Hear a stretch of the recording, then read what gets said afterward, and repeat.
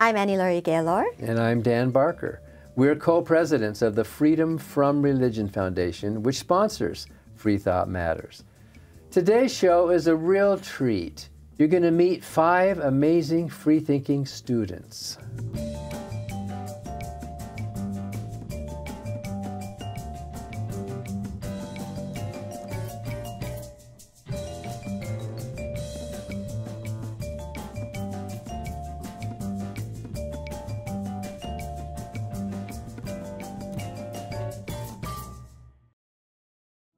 Freedom from Religion Foundation, which produces Free Thought Matters, is the nation's largest association of free thinkers that's atheists, agnostics, and other non believers. We invite you to join us in our vital work to keep our secular government free from religious influence. Become a member at ffrf.org or ask for a complimentary copy of our newspaper, Free Thought Today. Freedom depends on freethinkers. Watch prior episodes of Free Thought Matters on FFRF's YouTube channel.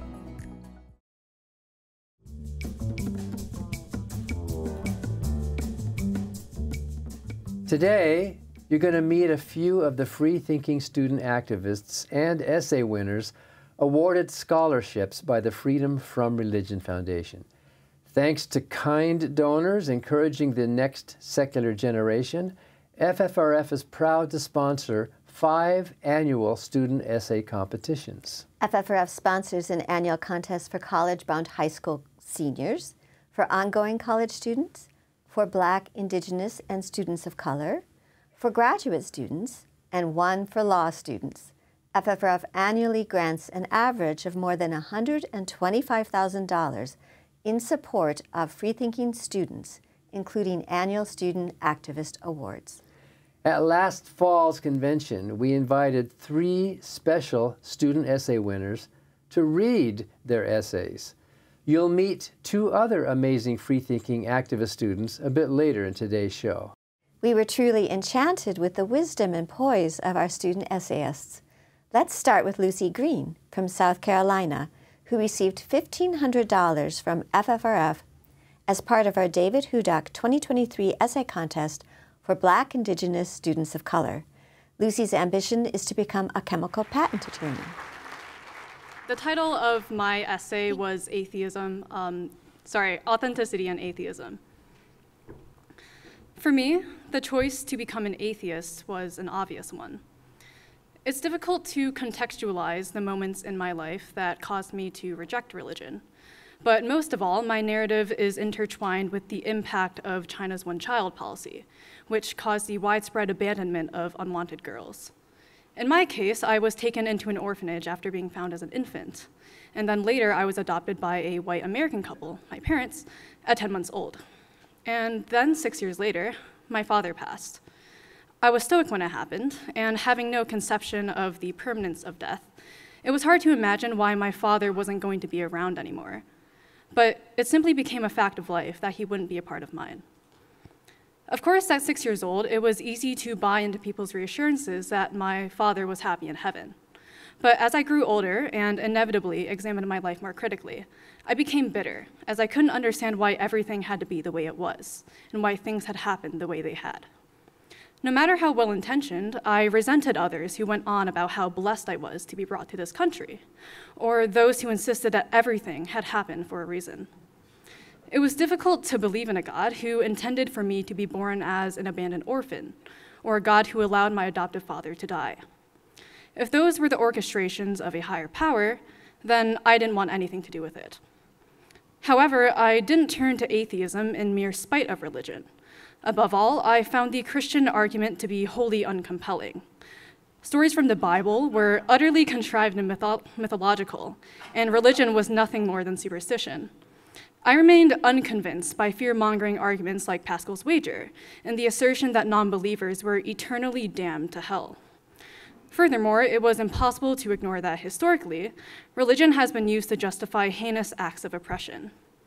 Biblical scripture was invoked to validate slavery. Christianity became a tool for cultural erasure and the subjugation of indigenous peoples. Patriarchal attitudes of religion endorse the restriction of women's rights and reinforce toxic gender roles.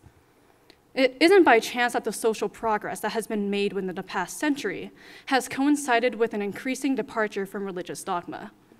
Where religion alienates logic, atheism ultimately offers a more coherent and intellectually satisfying worldview, a worldview that is uncomplicated by institutional corruption and regressive bigotry. Atheism has allowed me to unapologetically reclaim my identity. I am empowered to rely on my personal conviction, which drives me to be accountable and stay true to who I am. Moreover, my disbelief in a higher power does not diminish my sense of morality, nor my capacity for compassion. Rather, it strengthens my commitment to ethical values and humanist principles. By rejecting religion and embracing free thought, I choose to live a truly authentic life, grounded in reason, compassion, and the pursuit of truth. And for me, there is nothing more freeing. Thank you.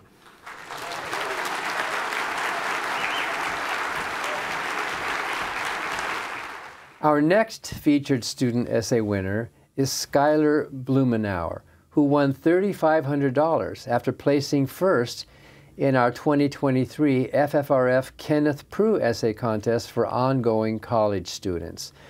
Skylar has been an active community volunteer, is planning to major in political science, and wants to attend law school after graduation. Hi, everyone. Today I will be reading to you my essay, A Letter to Representative Marjorie Taylor Greene, a, rebu- a rebuttal of Christian nationalism. Dear Representative Greene, I am reaching out to you today to discuss your identification as a Christian nationalist. This concept, I understand, is defined as the belief that our government should declare that America is a Christian nation, meaning that Christianity would become integral to the American identity.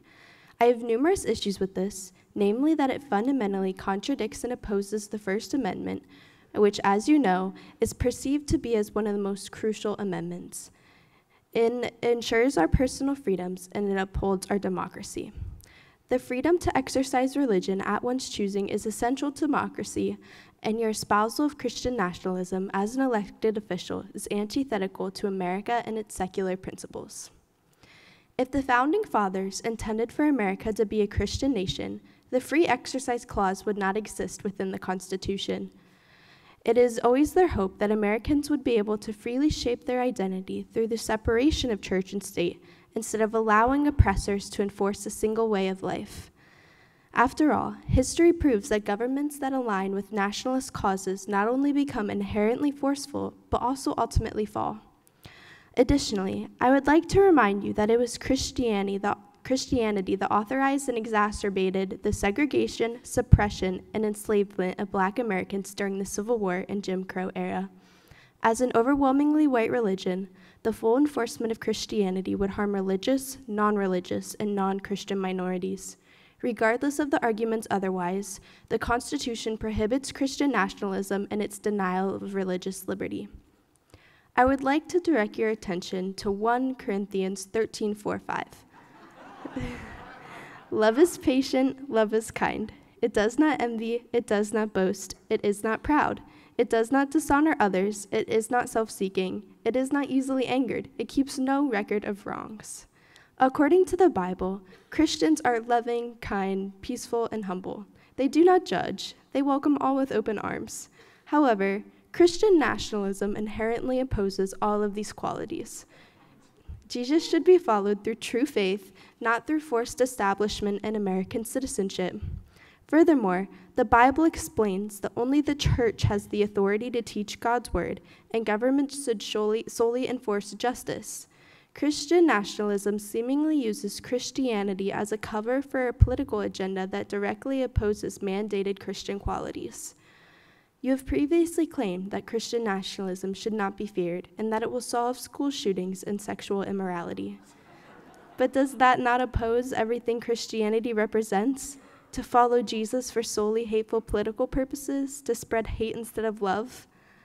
I want to share my experience with the church. During a rough period of my life, I was enticed to join the church by Christianity's promise of a loving, caring, and judgment free community. However, I found the complete opposite. I was told that my friends are not worthy of their lives because they preferred other genders. They laughed at me, telling me that because I am a girl, I have no future. I saw them harass and berate people for nothing but the color of their skin. They called themselves Christian nationalists. This is Christian nationalism, a movement that has likened itself to the Taliban and threatened to make The Handmaid's Tale a reality.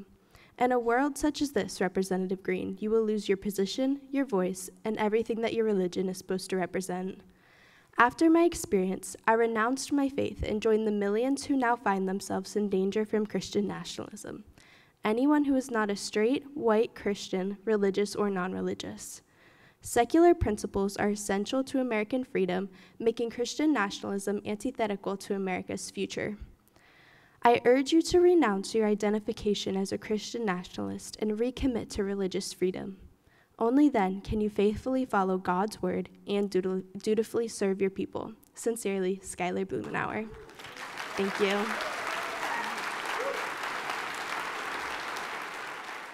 Our last featured speaker essayist is Michelle Liao, a National Honor Society member who was awarded $3,500 last year after placing first in FFRF's William Schultz Essay Contest for college bound high school seniors. Michelle is from Michigan and plans to major in both psychology and political science. I grew up attempting to stay as far from religion as possible. This proved difficult, of course, in my rural Midwestern town, where it seemed most people were religious and half of the livestock, too. I remember learning about our impressive collection of churches, over 60 for a total population of nearly 8,000. I would walk around town and see the rising church spires, one after the next, towering over the smaller houses.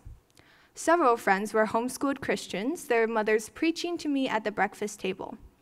These experiences follow me even now. I can still summon the dread I felt as the interviewer from my dream university sat down, looked up, and asked, Have you ever read the Bible? To me, it felt as though everyone knew something I didn't. I was the person who, when everyone else had their heads bowed in prayer, opened my eyes and wondered who we were praying to. I could not blindly engage in what could be nothing better than a delusion. There was no basis for anything written in the Bible, Quran, or any other religious text.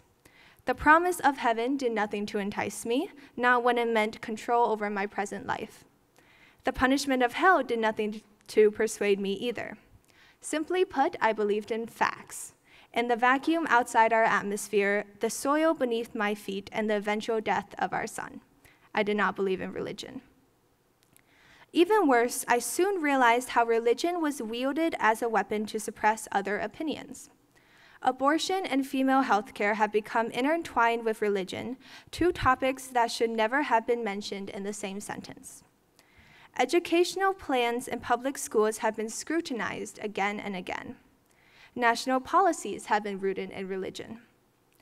I listened to people discuss their religious beliefs at length, knowing that if I shared mine, we could not remain friends. But things have changed with Gen Z, and I've noticed.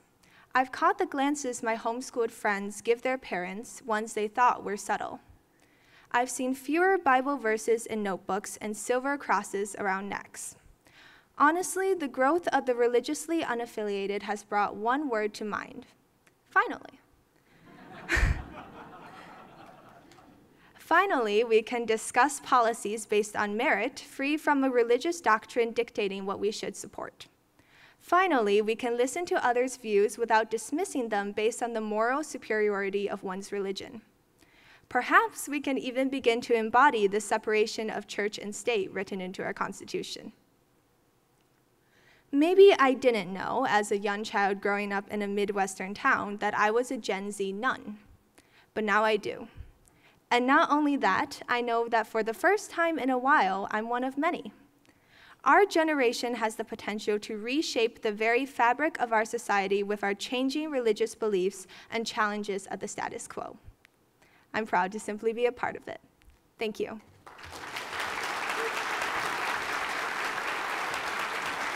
When we return, you'll meet two courageous secular student activists who've gone to court to challenge censorship of a drag show by their public university in Texas.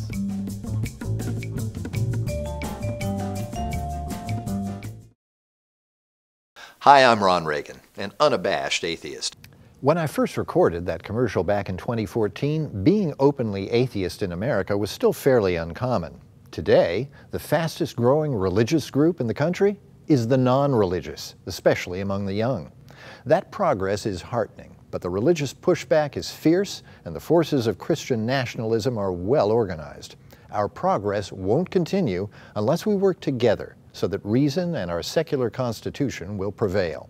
That's why I'm asking you to join the Freedom from Religion Foundation, the nation's largest and most effective association of atheists and agnostics working to keep state and church separate, just like our founders intended. Please join the Freedom from Religion Foundation today. Ron Reagan, lifelong atheist, not afraid of burning in hell. My name is Bill, and I'm an out of the closet apatheist, meaning I don't really care what you believe, and I don't really think that you should care what I believe. I was raised in South Dakota in a strict Catholic family. I was an altar boy. I served Mass a lot of Sundays twice. We the, the priest gave us this little card that said, "In case of accident, please call a priest." I don't really like that idea anymore since I left the church about 40 years ago. Now, if you find me alongside the road after an accident, please call an ambulance and an EMT.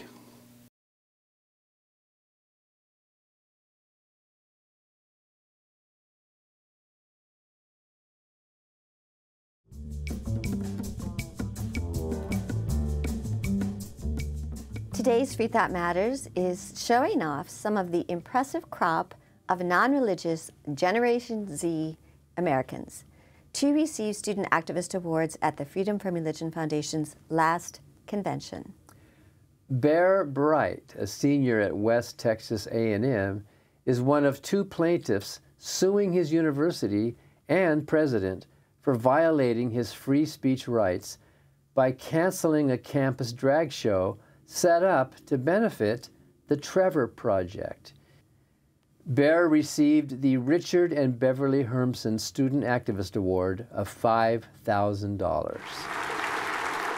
The president uses his Christian beliefs to cancel the drag show that me and my friends and a bunch of other friends decided to put on for charity. Walter Wendler is a character. There was this whole protest about it. We marched around the fountain. We chalked up the chalk all around the fountain. It got power washed away every single day. All the other chalk on campus sat there except for ours. Just a little taste of what Wendler is like. He posted his whole feelings about what drag shows are um, to, as a message to the entire university, faculty, staff, and alumni and students. I believe every human being is created in the image of God, and therefore a person's dignity. Does drag show or preserve a single thread of this dignity? I think not. So, we decided as students um, to do something about it. Joining Bear Bright as student plaintiff in the lawsuit is Marcus Stovall, a junior at West Texas A&M. Marcus is founder and president of the school's Secular Student Alliance chapter and received the Stephen and Diane Uhl out of God's Closet Student Activist Award of $5,000. A little over a year ago, at my new student orientation for college, I attended the organization fair. I was anxious and alone and acutely aware that I was uncomfortable in my own skin, but I was very determined to find somewhere I was going to fit in. First, I went up to every single religious group set up and I asked every one of them the same question Are y'all okay with gay people? In every group, every single one said no. They'd say I was welcome to come and change my ways at best, flat out no at the worst, but each one hurt just a little bit more. Once I ran out of religious groups, I walked up and down the rows of tables, eyes on one table covered in colors and flags that was pretty hard to miss, trying to build up the confidence to go and talk to them. But after making at least four or five passes, enough that the people sitting at the table were like, What is that person doing? I finally built up the courage to go up and ask one weird question are you guys gay? followed by a question that makes my heart break to think about Is that safe?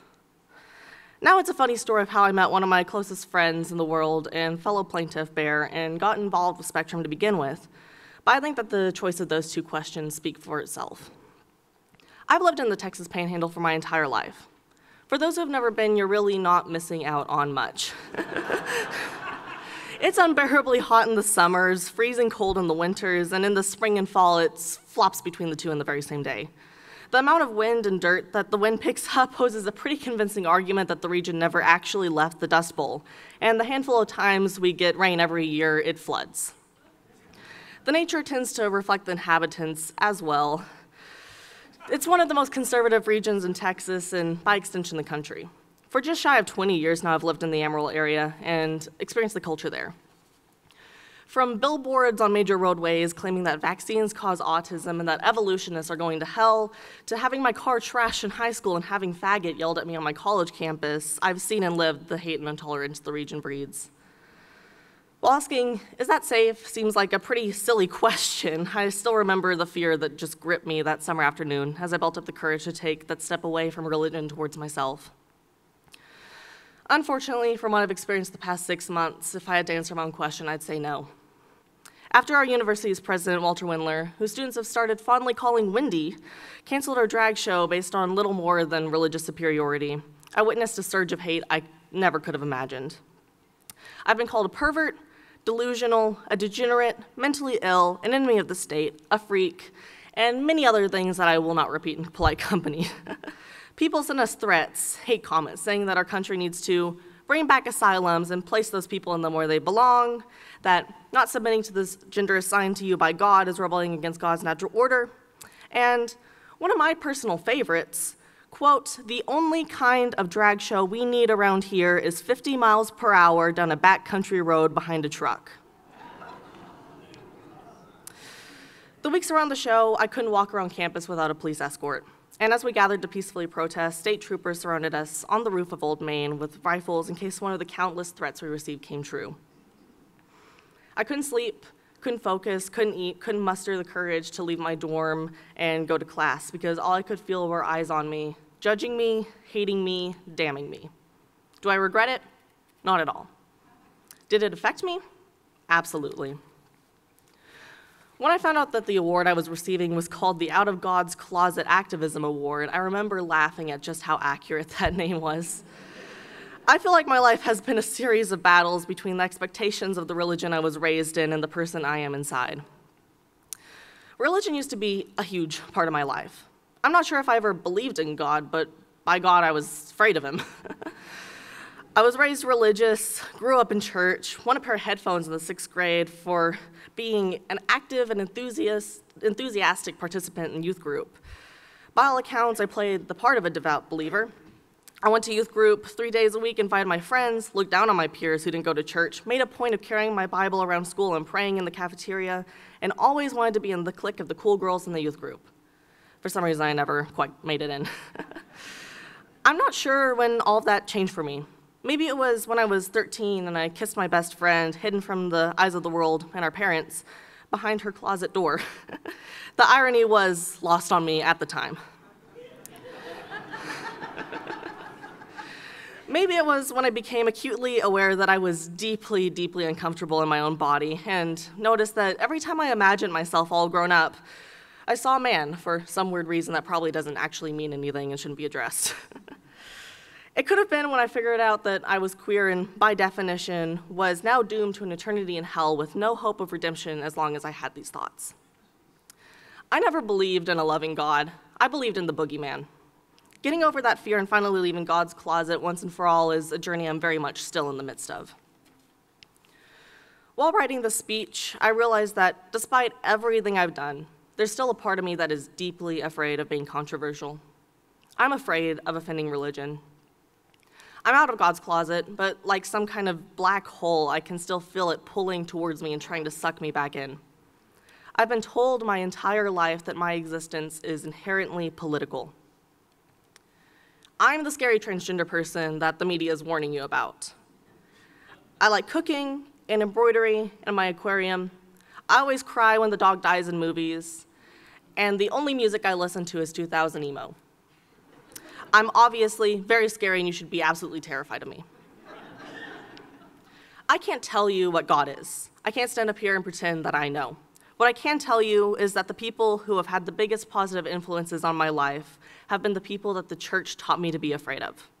The first people to ever show me true kindness, empathy, human understanding, and love were the queers, the sinners, and the atheists.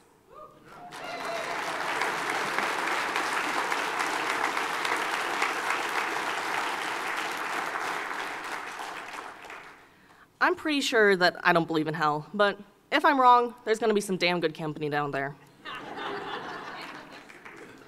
and this is why what we're doing is so important. Despite pushback and hatred from religious zealots like WT's own lovely Wendy, if I'm able to show just one person that it's possible to live your life how you want it and be genuine to yourself, it's all worth it. I remember what it felt like to be the closeted kid, alienated in his own skin, but far too afraid to do anything about it.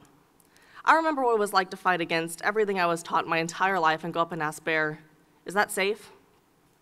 If the protests we held on campus showed even just one student that it's okay to be gay and that you will be welcomed at WT, it was worth it. If the $7,000 we raised to donate to the Trevor Project saved even just one life of one queer youth, it was worth it. The fact that I'm able to stand in front of you all now and be comfortable in my own body means it's worth it. My name is Marcus. I'm a queer trans man. I'm an atheist, and I'm done hiding in God's closet.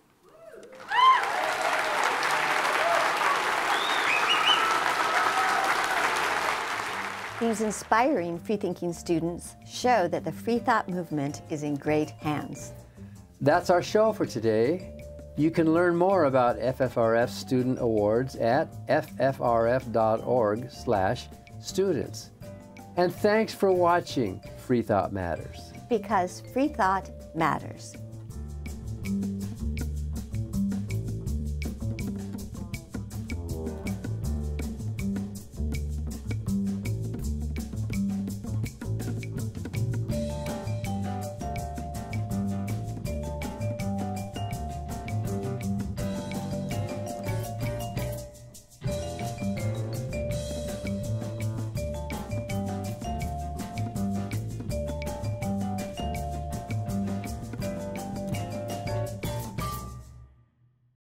Hi, I'm Steve Pinker. In my book, Enlightenment Now, I show that the world has become a better place as reason has been overcoming superstition and tribalism. But the values of the Enlightenment are under attack. That's why I'm a proud member of the Freedom from Religion Foundation, the nation's largest association of free thinkers working to keep state and church separate. Please join me in supporting the Freedom from Religion Foundation to ensure that our government is driven not by religion, but by reason.